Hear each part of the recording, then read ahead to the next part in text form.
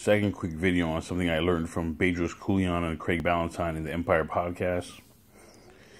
Now, you don't want to do to do this in the morning. You want to do it the night before. Now, if you're creative, you're an entrepreneur, you're a business person, you're doing ad campaigns, whatever it is, do a brain dump. Yes, I'm not hearing sucks people, but essentially what you're doing is, or your good ideas, the actionable advice you have for yourself, the things you can really conquer, that you know you need to get done in the morning, write them down now, tonight, 2.30 in the morning, 4 o'clock in the morning, whatever your bedtime is. So that you, when you get up in the morning, put your phone on mute, no notifications, you conquer those things. Or if it's a book idea, you know what you're already going to write for. Either way, you're winning ahead of time.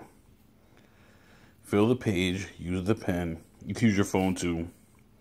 iPhone, Blackberry, Android. Get it together.